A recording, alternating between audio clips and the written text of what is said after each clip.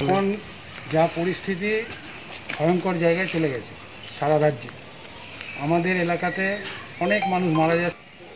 এই ভয়ঙ্কর পরিস্থিতিতে একযোগে এখন মোকাবিলার জন্য সবাইকে নামতে হবে, এগিয়ে আসতে হবে, স্বাস্থ্যবিধি মানতে হবে। গতকাল আমি ডিস্ট্রিক্ট ম্যাজিস্ট্রেটের সাথে কথা বলেছি। কোভিড টেস্টিংয়ের সেন্টার যাতে এখানে করা যায়। বিনয় চৌধুরী মেমোরিয়াল হাসপাতালের বাড়ি যা তৈরি আছে, সেটা যাতে ব্যবহার হয়। ডিস্ট্রিক্ট ম্যাজিস্ট্রেট সিএমওইচের সঙ্গে কথা বলছেন।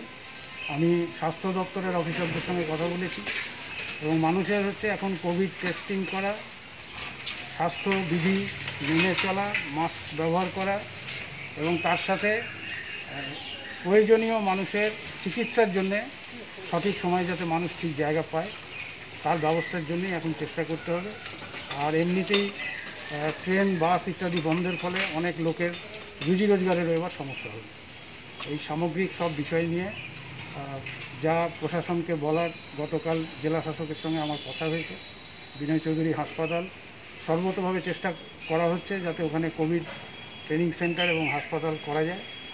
আগামীকাল আমি চিফ সেক্রেটারির সাথে কথা বলব। আগামী সোমবার, কালকে।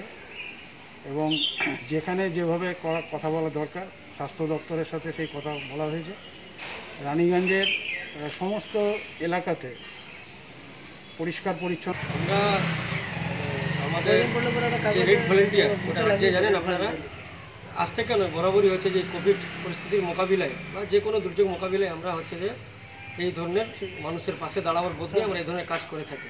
কোভিড ভয়ঙ্কর আকার নিচ্ছে। আমরা গোটা এলাকা জুড়ে এই ধরনের কাজ করব। এবং হচ্ছে যে মানুষের কাছে যতটুকু পরিষেবা দেওয়া যায়, যেটা আমাদের সীমিত ক্ষমতা আছে, সেইটুকু আমরা পরিষেবা মানুষের কাছে পৌঁছে দেবো। ইতিমধ্যে গ্যাস সিলিন্ডার দেওয়া, মানুষের কাছে ওষুধ পৌঁছে দেওয়া, বাড়িতে খাওয়া পৌঁছে দেওয়া, এই কাজগুলো করেছে। আরও বেশি কাজ করতে চাই আমরা। কিন্তু সরকারের কাছে আমাদের দাবি, গোটা এলাকায় এই ধরনের কাজ করতে হবে। সরকারকে উদ্যোগী হতে হবে। হাসপাতালে বেডের সংখ্যা বাড়াতে হবে। মানুষকে যাতে মানুষ খেয়ে পড়ে যেমন বাঁচতে পারে, আবার ট্রিটমেন্টে যাতে কোনো অসুবিধা নয় যা হচ্ছে গোটা এলাকায়। এটা যদি সরকার না করতে পারে, তাহলে কিন্তু এই মৃত্যুর মিছিল বাড়বে। আমরা সরকারের কাছে দাবি করছি, মানবিক বোধ নিয়ে সরকার টেস্টিংয়ের জন্য মানুষ লাইন দিয়ে বসে আছে। কথা ছিল ভ্যাকসিন দেওয়া হবে পয়লা মে থেকে। নেই।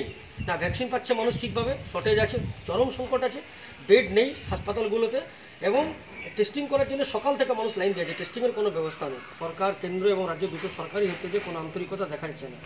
নির্বাচনে ক্ষমতা দখলের জন্য যে আকুতি ছিল, সেই আকুতি কিন্তু আজকে মানুষের পাশে দাঁড়াবার নেই। মৃত্যুর মিছিল চলছে গোটা বাংলায়। এই রানীগঞ্জে যে এলাকায় আজকে আমরা স্যানিটাইজেশন করার উদ্যোগ নিয়েছি এলাকাতে কোভিড পেশেন্ট মারা গেছে। রানীগঞ্জ সরকার নির্বিকার, হাসপাতালে বেড নেই, কাউকে দেখাচ্ছে না, কোনো জনপ্রতিনিধি নেই। সেই জায়গাতে আমরা চাইছি কি রাজনীতি অনেক হলো, ভোট অনেক হলো এবং মানুষের জীবন বাঁচানোটা আমাদের হচ্ছে যে গুরুত্বপূর্ণ কাজ। মানুষের পাশে আমরা দাঁড়াতে চাই।